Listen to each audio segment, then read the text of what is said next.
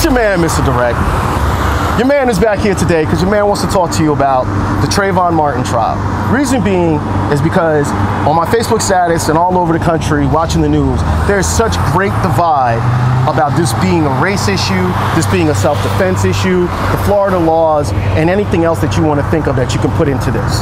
A lot of people are saying that this has nothing to do with race, and they don't understand why the black community is outraged a lot of the people in the white community who are saying that they agree with the verdict, most of them are saying this because honestly, in my opinion, they don't know what it's like to be profiled.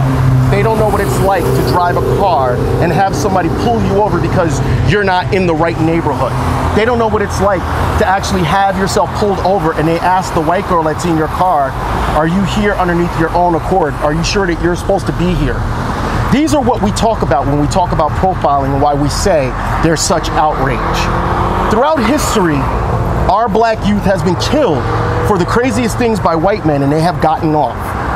A lot of times people say you're throwing race into this. No, it's not that you're throwing race into it, it's that race is there and you're doing everything in your power not to deal with it. A lot of people have this, well, if you don't talk about race, it'll go away.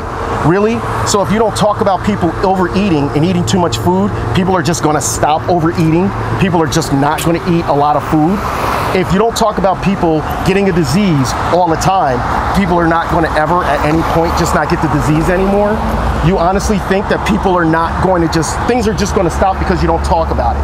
That's called ignorance, okay?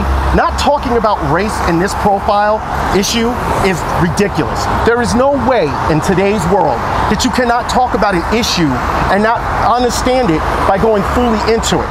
Not taking the time to fully understand what's going on with this. To give you a better idea of this, when you say there's no race to play into it, there's no way race played a part in it, okay? In America, black people are locked up at a higher rate than any other nationality.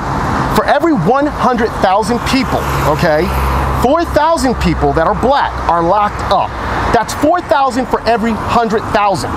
For every 100,000 people in the same population, for every 100,000 people, 600 white people are locked up.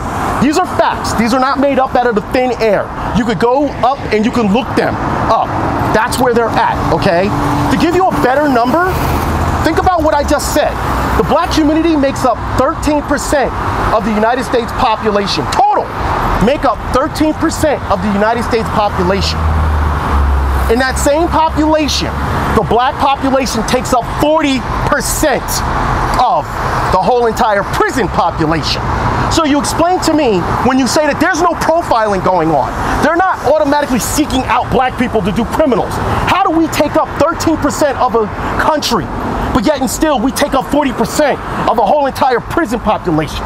We all understand that prison itself is no longer just we're going to find a way to rehab these people. Prison is a business, and the business is to lock up as many black people as possible. Let's go into their neighborhood and let's lock them up. Let's go into their neighborhood and lock them up for the craziest things, okay? Do you realize that black kids are more than likely to go to jail for a first time offense?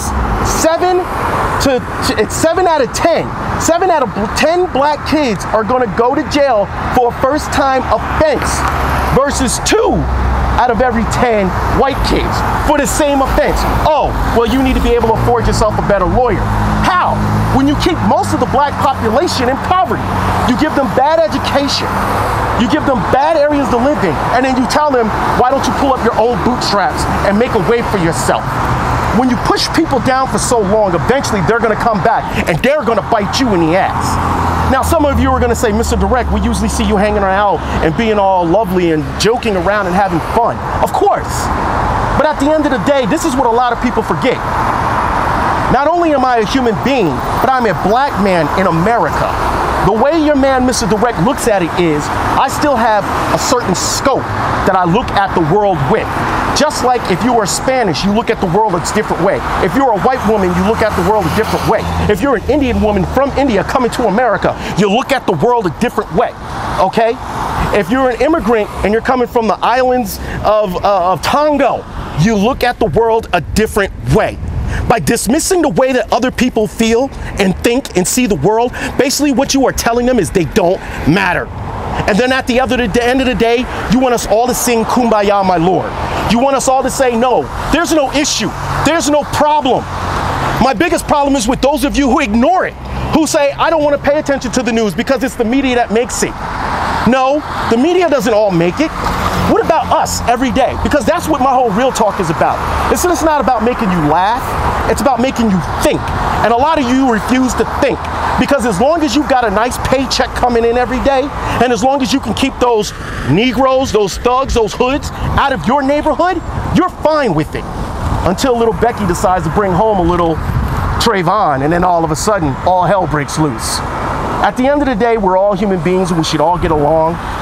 But to a certain degree, you need to stop and you need to ask yourself, what are you doing to solve the race problem besides ignoring it? Because at the end of the day, if you're doing nothing to solve it, you're doing everything to help it. And that's what matters most. You're doing everything to help it because you'd rather ignore it. So continue to ignore it. But no matter what, your man, Mr. Director, is always going to give you real talk.